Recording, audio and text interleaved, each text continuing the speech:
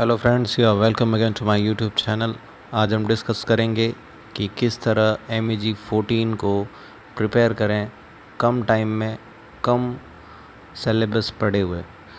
तो मैं आपको बता दूँ कि मैं दो क्वेश्चन पेपर्स आपके सामने आज प्रेजेंट करूँगा, उनका एग्जांपल देके आपको बताऊँगा कि how to prepare for next examination which are going to held in December 18 या उसके बाद के एग्ज़ाम्स, जून 19 दिसंबर 19 एक्सेट्राज तो मैं आपको बता दूँ, इसमें ये 100 मार्क्स का क्वेश्चन पेपर होता है और उसमें हमें करने होते हैं फाइव क्वेश्चंस। एक क्वेश्चन का जो मार्किंग है वो ट्वेंटी मार्क्स का हो जाएगा। सबसे पहला क्वेश्चन जो आता है, वो आता है पोइट्री से। तो मैं आपको बता दूँ कि इस एम ई जी फोटीन में टोटल फोर्टीन पोइम्स है, जो कि कई सारी लैंग्वेजेस में लिखी हुई है। हिंदी और कई सारी क्षेत्रीय लैंग्वेजेस में। उसके बाद उनको कन्वर्ट किया गया है इंग्लिश लैंग्वेज में। तो इन फोर्टीन पोइम में से आपके सामने हर बार छः पोइम्स आएगी और छः पोइम्स में से आपको चार पोइम करनी है और एक पोइम का जो है एक्सप्लेनेशन एंड ट्रांसलेशन करने के बाद वो एक पोएम फाइव मार्क्स की है। तो पहला क्वेश्चन जो है आपका ट्वेंटी मार्क्स का हो जाता है। अब मैं आपको बताऊँगा कि कौन सी पोइम्स आपको प्रिपेयर करनी चाहिए जैसा कि ऊपर देख सकते हैं वीडियो में टेन टू ट्वेंटी थ्री आपके सामने सीरियल्स अपेयर हो रहे हैं। ये सारी पोइम्स की लिस्ट है फोर्टीन पोइम्स है टोटल अब मैं आपको बेस्ट ऑफ़ फाइव बताऊँगा आउट ऑफ़ फोर्टीन सबसे पहले सीरियल नंबर टेन रेक्यूम करके इसका पोइम का नाम है के एस नोंग क्यान रिय ने इसको लिखा है। ये पहले इनिशियली हिंदी में लिखी गई थी खांसी नाम से, फिर पोएम ने सॉरी पोइट ने इसको ट्रांसलेट किया इंग्लिश में। इसके बाद नंबर फोर्टीन द स्टेर इसको हिंदी में लिखा था टकटकी करके। रघुवीर सहाय ने, और रघुवीर सहाय ने ही फिर इसको इंग्लिश में ट्रांसलेट किया। उसके बाद फिफ्टीन नंबर पे आता है द मून कश्मीरी में लिखा गया था इसको। दीनानाथ नदीन ने लिखा इसको ट्रांसलेट किया था जे एल कॉल ने कश्मीरी से इंग्लिश लैंग्वेज में। और आपको जो वीडियोस देख रहे हैं, ये पोएम्स है जो एम ई जी फोटीन की इग्नू द्वारा इशू की गई बुक में से है। और इन पैराग्राफ्स के अलावा भी द मून का दो बार एक सेम पैराग्राफ आया जो मेरे को इस पोएम में नहीं मिला, इस बुक में नहीं मिला, वो भी मैं आपको दिखा रहा हूँ। और ये पोएम जो है मून वो एट टाइम्स आई है लास्ट सेवन ईयर्स में। नंबर फोर पोएम जो कि आपको प्रिपेयर करनी चाहिए, वो है श्री राधा उड़िया लैंग्वेज में रमाकांत रथ ने इसे लिखा था, और रमाकांत रथ ने ही इसको इंग्लिश में ट्रांसलेट भी किया।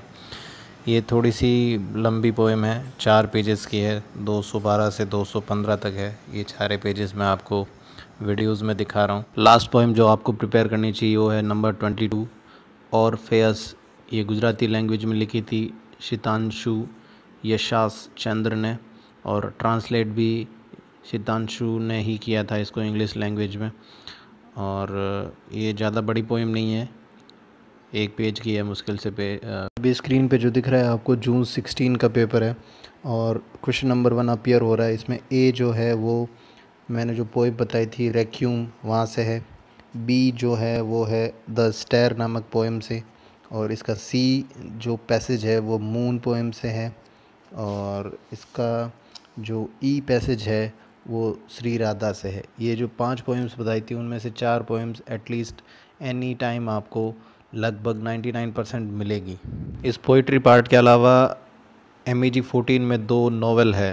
दो नहीं बेसिकली तीन नावल है, जो क्वेश्चन नंबर टू है, मैं उसके बारे में बात करता हूँ। क्वेश्चन नंबर टू है, वो हमेशा पिछले सात सालों से और चौदह पेपर से यही आ रहा है।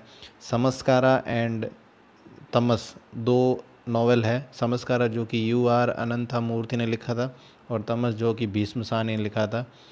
ये क्वेश्चन नंबर टू में दोनों नावल आते हैं और बीच में और लगा होता है। दोनों में से आपको ये करना होता है। तमस नावल पे मैंने एक वीडियो बनाया है यूट्यूब पे। उसका लिंक मैं नीचे शेयर कर रहा हूँ। आप उसको पढ़ के, उसको देख के तमस के बारे में छोटी सी छोटी चीज़ समझ सकते हैं। अभी मैं आपको क्वेश्चन नंबर टू दिखाऊँगा जून सिक्सटीन का पेपर जो है उसमें। इसमें जो फ़र्स्ट पार्ट है, वो समस्कारा नावल से है एंड सेकंड पार्ट जो है, वो तमस से है। अगर आपने तमस नावल पूरा पढ़ा है अच्छी तरह से तो आप इसका आंसर दे सकते हैं। हालाँकि ये बीस नंबर का क्वेश्चन है। तो आपको 450 वर्ड्स में आंसर देना ही पड़ेगा। इस तरह आपके दो क्वेश्चन कवर होते हैं, अब हम तीसरे पे आते हैं। थर्ड क्वेश्चन जो है, मैं आपको बता दूँ, हम जून 16 का एक क्वेश्चन पेपर देख रहे हैं अभी भी। तो जो थर्ड क्वेश्चन आपको अपियर हो रहा है, वो तुगलक से है। इसका first part and second part मतलब दोनों में से आपको ये करना है और उसके लिए आपको सिर्फ़ एक नावल यानी तुगलक पढ़ना है, वो भी मैंने यूट्यूब पे वीडियो उसके बारे में बना रखा है, उसका भी मैं लिंक नीचे शेयर कर रहा हूँ, आप उससे गो थ्रू हो सकते हैं और ये हंड्रेड परसेंट आपको हेल्पफुल रहेगा, क्योंकि एक बार आप पूरा स्टोरी पढ़ लोगे तो उसके बाद इसमें जो पूछा गया है, उसके अकॉर्डिंग आप आंसर्स दे सकते हो। अब हम क्वेश्चन नंबर फोर पे आते हैं।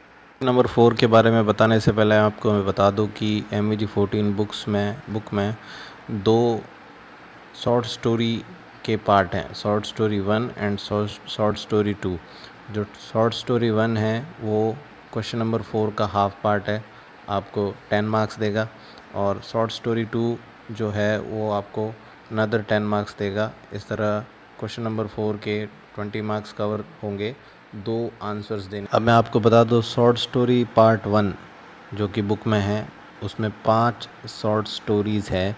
पाँच में से चार शॉर्ट स्टोरी के ऊपर मैंने वीडियो बनाया है, salt by Mahasweta Devi, birthday by Vaikom Mohammad Basheer, birds by Nirmal Verma, and Tiny's granny by Ismat Chughtai. इन चार में से आपको दो क्वेश्चन मिलेंगे। क्वेश्चन नंबर फोर का फ़र्स्ट पार्ट अटेंड करने के लिए। अभी short story part number two, जो कि बुक्स में है, उसमें से मैंने चार स्टोरी है। इन चार स्टोरी में से मैंने दो स्टोरी वेरी लॉन्ली शी जिसे मोतीलाल जोतवानी ने लिखा है, उस पर एंड द कॉम्प्रोमाइज़ जो कि विजय दान देथा ने लिखा है, उन दोनों स्टोरीज़ पे मैंने वीडियो बनाया है लिंक नीचे शेयर कर रहा हूँ। इन चार स्टोरीज़ में से दो स्टोरी पे क्वेश्चन आएगा और उन दो स्टोरी में से एक स्टोरी आपको, एक स्टोरी के क्वेश्चन का आपको जवाब देना होगा और आप क्वेश्चन नंबर फोर के सेकंड पार्ट यानी बी पार्ट को अटेंड करने में कामयाब हो जाओगे। इस तरह मैं अभी आपको क्वेश्चन नंबर फोर के बारे में बताता हूँ, जो आपकी स्क्रीन पर अपियर हो रहा है। क्वेश्चन नंबर फोर का ए पार्ट जो है, वो बर्थडे शॉर्ट स्टोरी से है और और के बाद सेकंड जो है, वो क्वेश्चन है टीनीस ग्रानी शॉर्ट स्टोरी से। तो आप इन दोनों का मैंने लिंक नीचे भेज रखा है। आप दोनों में से एक पढ़ सकते हैं या फिर दोनों पढ़ सकते हैं तो आपके लिए बहुत अच्छा है। उसके बाद बी पार्ट है, उसमें जो फ़र्स्ट है, वो है एमटी चेस्ट जो मैंने डाउनलोड नहीं किया लोड नहीं किया है।